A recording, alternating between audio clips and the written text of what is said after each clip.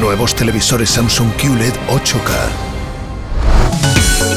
Hoy, en Sci-Fi Games, actualidad con Borja Pavón. Entrevistamos a Pazo64 e intentamos adentrarnos en la mente de Hideo Kojima.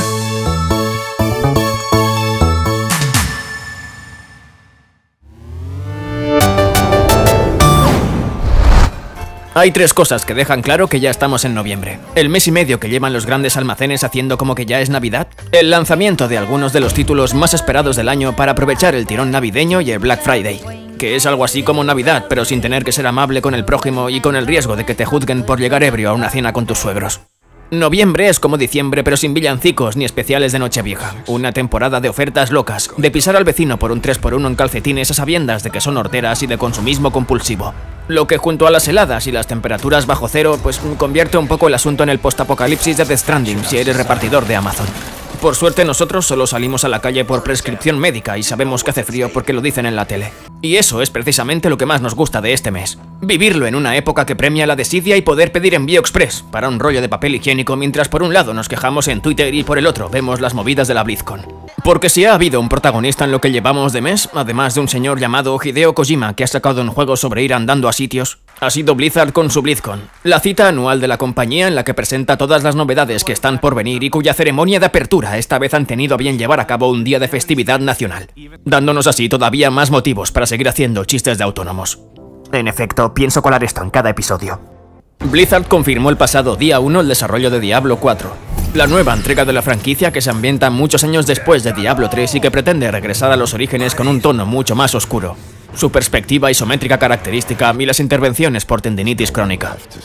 La compañía mostró tres de las cinco clases que estarán disponibles en el juego, la hechicera, el bárbaro y el druida, personajes indispensables en cualquier despedida de soltero que se precie, pero de momento no tiene fecha de lanzamiento. También se anunció una nueva expansión para World of Warcraft que llegará en 2020, Shadowlands, y se confirmó el rumoreado Overwatch 2, que incluirá modo historia y nuevos mapas, héroes y modos de juego PvP que estarán disponibles gratis para los usuarios del original, que no tendrán que adquirir la secuela a no ser que deseen probar el mencionado modo historia o el PvE. Tampoco tiene fecha de lanzamiento y parece que va para largo, que es un poco como cuando me prometo empezar a hacer ejercicio pero nunca termino de decidir cuándo. Pero ¿qué sería de un mes de noviembre sin su correspondiente ración de Pokémon? El pasado día 15 se puso a la venta el esperado Pokémon Espada y Escudo, la octava generación de Pokémon que esta vez se ambienta en la región de Galar. Una versión del Reino Unido sin balconing ni té de las 5 porque directamente la tetera ya se ha convertido en un Pokémon de pleno derecho. Y aunque realmente estamos ansiosos por ver finalmente materializado el Pokémon Bayeta en un hipotético Pokémon Cuchara y Cucharón, lo cierto es que las nuevas criaturas no nos pillaron por sorpresa debido a las filtraciones que surgieron poco antes del lanzamiento del juego. Y que enfurecieron todavía más a unos fans que ya estaban airados por el hecho de que Game Freak no incluyera en el juego la Pokédex nacional al completo. Sea como sea, mucho nos tememos que esta deriva hacia Pokémon cada vez más abstractos nos lleve inevitablemente hasta el Pokémon Pokémon, el meta-Pokémon definitivo. Otro de los lanzamientos más importantes del mes es Star Wars Jedi Fallen Order el nuevo juego de la saga que se sitúa entre los episodios 3 y 4 y que nos pone en la piel de Cal Kestis, otro señor con nombre de Nick de Messenger que tendrá que evitar sucumbir ante la Orden 66. Lo nuevo de los creadores de Apex Legends ofrece un combate inspirado en Sekiro, plataformas al estilo Uncharted y puzzles a lo Tomb Raider, además de varios planetas por explorar y un nuevo acompañante, BD-1, otro adorable androide para el que sin duda tendremos una preferencia emocional en detrimento del pobre Kestis. Pero si hablamos de franquicias centradas en movidas familiares, con secundarios muy feos que vuelven gracias al poder de la nostalgia para desvalijar a los que antes éramos unos críos y ahora tenemos un mínimo poder adquisitivo, no podemos obviar a Shenmue. La tercera entrega ha salido esta semana a la venta tras casi 20 años de espera y numerosos retrasos. Y supone un viaje en el tiempo, aunque no siempre por las razones más adecuadas.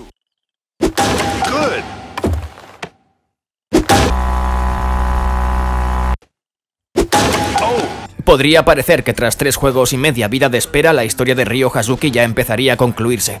Pero nada más lejos de la realidad. Su creador, Yu Suzuki, ha declarado que al terminarlo tan solo habremos visto un 40% de lo que tiene por contar. Por lo que a este ritmo quizá nuestros descendientes puedan ver cómo termina todo bien entrado el nuevo siglo.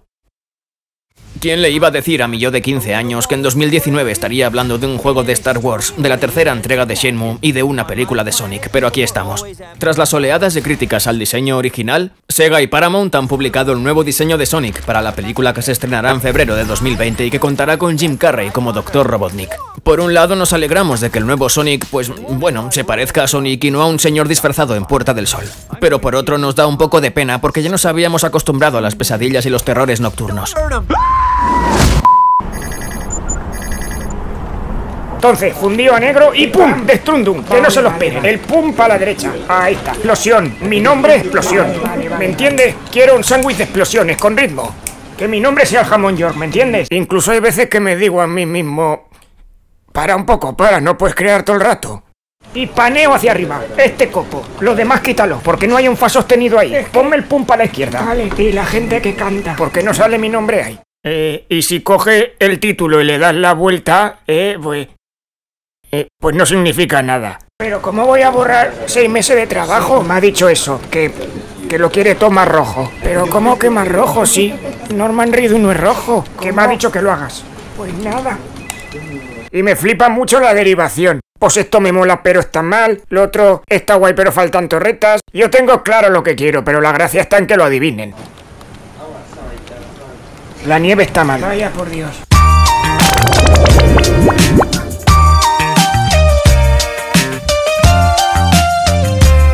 Me llamo Víctor Matute, ahí se me conoce como Pazo64. Eh, tengo un canal de YouTube en el que hago reviews básicamente de juegos indies. Hola, buenas tardes, joven amable. Vengo a comprar un corral para los pollos. ¿Cuatro mil pavos? ¿Pero qué, ¿Pero qué es para los pollos? Es para que vivan las gallinas. Me vale una caja. ¿Pero qué, es, qué pasa en este pueblo? Te jodo el pino. ¿Qué te has pensado, carera? Siempre con mucho humor y mucha broma, sin tomármelo muy en serio. Entra de todo un poco. Siempre se cuela un triple A que me interesa y tal. Alguna que otra receta de cocina se va soltando por ahí, sí, sí. Vamos a hacer un unboxing de la Switch. Pero es que había quedado para comer con un amigo, que es el que está aquí grabando detrás de la cámara, y hemos dicho, pues cocinamos algo y hacemos un unboxing, está aquí. Es esto. Yo estaba en un canal que se llama Último Nivel, que lo llevaba un amigo, le estaba echando una mano y nos venimos arriba. Y cada semana teníamos un programa y entonces ellos se tomaron YouTube como lo que tiene que ser, que es, tío, esto es un hobby, no nos calientes la cabeza, ¿sabes? Y yo, pero tío, que podemos triunfar. Total, que no cuadramos ahí, finalizó un contrato, me quedé en la calle y dije, bueno, pues voy a probar a lo loco, ¿sabes? Piensa que yo cuando empecé en YouTube, y yo pensaba que YouTube era eso donde la gente sube sus gatos. Yo me perdí el tema Minecraft, me lo perdí todo, o sea, yo no me enteraba de nada. Pero sí que había alguna cosita, por ejemplo, Total Biscuit, donde gustaba mucho el tema de que te diera una opinión sincera basada en lo que a él le saliera de ahí y luego al final te dijera, espérate una rebaja o, o págalo full price, ¿sabes? Además que cuando hablaba sabía mucho, sabía muchísimo lo de lo que hablaba, algo que yo no. luego también estaba el Angry Video Game Nerd.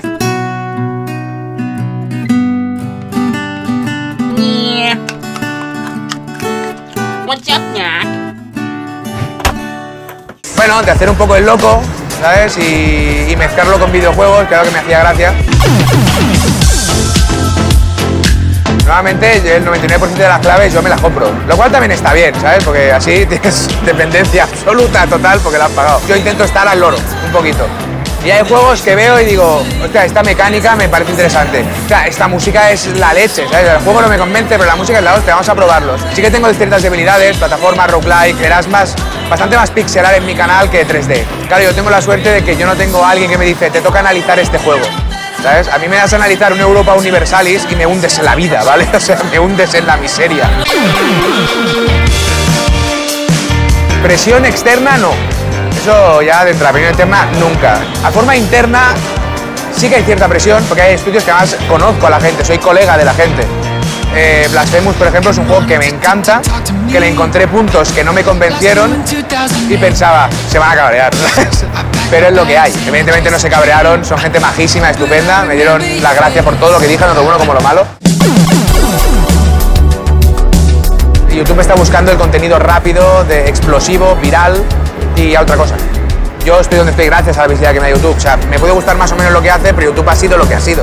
Pero de repente empiezan a no gustar a ciertos movimientos y Twitch, eh, por otro lado, te da una libertad de creación incluso más, porque es en directo y es, una, y es un contacto directo con tus seguidores. Y además hay gente que se está ganando la vida. Somos unos cuantos que estamos ganando dinero con Twitch. Cosa que con YouTube, no. No. ¿Vale? Esto habrá que ver si es un ciclo y Twitch de repente se convierte en YouTube y aparece Twitch, ¿sabes? Entonces. El problema de la saturación no es nuevo. Se está grabando ahora. Está grabando porque estamos sobresaturando de juegos que ya estaban hechos y te los estamos encasquetando, ¿vale? Entonces, todo lo que sea juego gratis es fantástico, es maravilloso. Y no son cualquier juego, se están regalando juegazos. Entonces, entre eso y que están empezando a aparecer muchísimas suscripciones, yo creo que se está estamos llegando al punto de perder el valor del videojuego, estamos el, el valor de lo que cuesta hacer un videojuego, ¿vale? Ahora bien, para el consumidor es la hostia, tío, nunca hemos tenido tantas posibilidades ni a tan bajo, a tan bajo precio. Que se vaya a poder mantener, no lo sé, algo va a petar. yo soy de pensar que algo va a petar siempre. Lo voy a recomendar toda la vida es Hellblade, ¿vale? Porque es, para mí es de lo mejor que he jugado nunca. Pero de juegos pequeñitos, eh, Baba Yu es un juego de puzzles que parece una, una masterclass en programación, pero no te das ni cuenta. Y luego, que ha salido recientemente hace nada, Children of Morta. Es un roguelite eh, muy bonito. Cómo te cuentan la historia, o sea, la narrativa que se han inventado, la variedad entre personajes, me parece un juego fantástico. Son juegos pequeñitos que están muy, muy bien.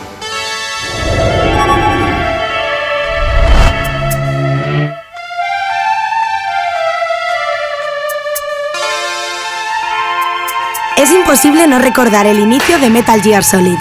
La llegada de Solid Snake a Shadow Moses es uno de los momentos más icónicos de la historia del videojuego. Del mismo modo, son inolvidables los personajes que conocemos a medida que nos infiltramos más y más en la fortaleza. Desde Otacon o Meryl hasta Psycho Mantis o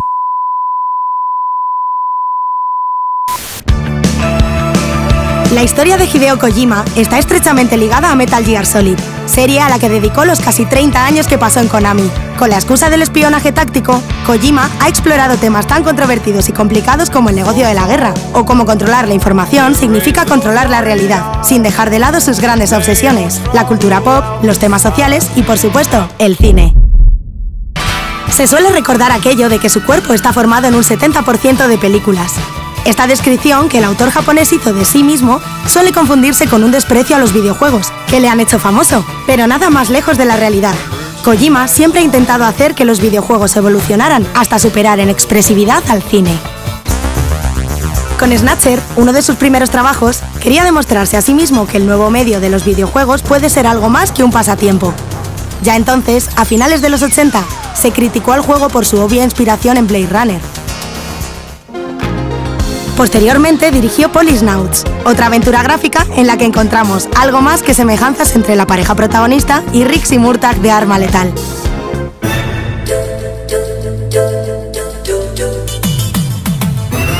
El primer Metal Gear Solid reafirmó su marcada inspiración en el cine, con elaboradas escenas cinemáticas y grandes actores de doblaje.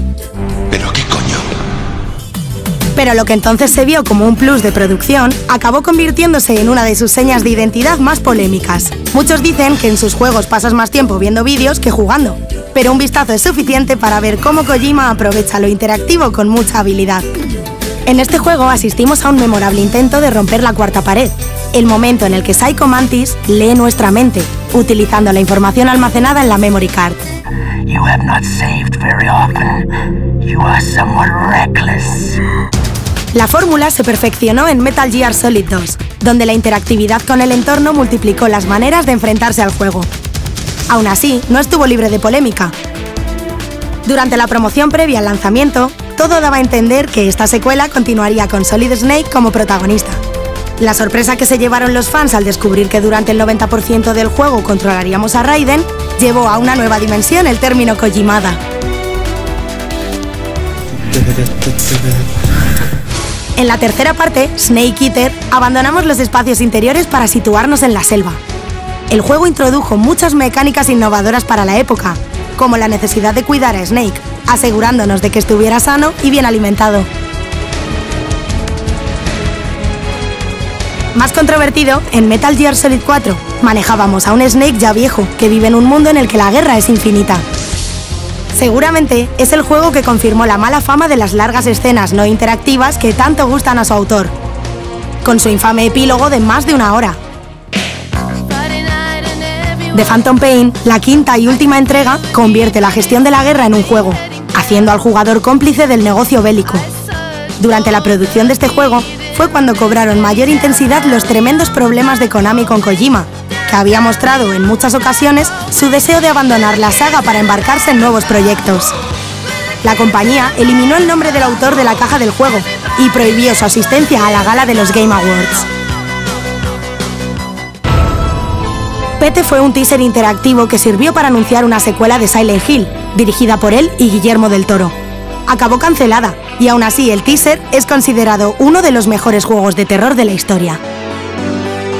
¿Hay vida más allá de Metal Gear?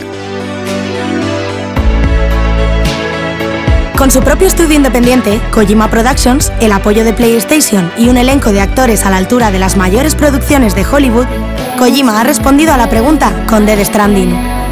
Esta nueva aventura es tan esotérica, enrevesada y excesiva como se podía esperar de él. Viene acompañada de la ambición de redefinir géneros y expandir lo que se puede esperar de una superproducción, con su jugabilidad reposada y su ambientación expresionista. En Dead Stranding eres Sam Bridges, un tipo más o menos normal que se ve envuelto en una misión de escala nacional. Recorrer de punta a punta unos Estados Unidos posapocalípticos, reconectando a los supervivientes y repartiendo paquetes. Podemos considerarlo algo así como una culminación y perfeccionamiento de lo aprendido en sus últimas tres décadas. Con Death Stranding, Hideo Kojima da un paso más en su cometido de difuminar las fronteras entre medios. Si alguien puede tener algo que decir en ese aspecto, sin duda, es él. Pero no hace falta pensar en el futuro para alabar la importancia de su trabajo. Estos 30 años de juegos le han hecho ya inolvidable. Hello, hello everyone. I'm back. It's KKB, let's go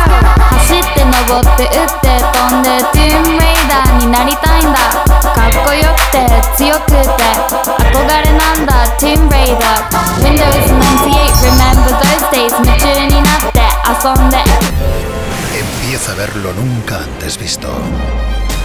Profundidad. Detalle. Deja de ver. Empieza a sentir. Nuevos televisores Samsung QLED 8K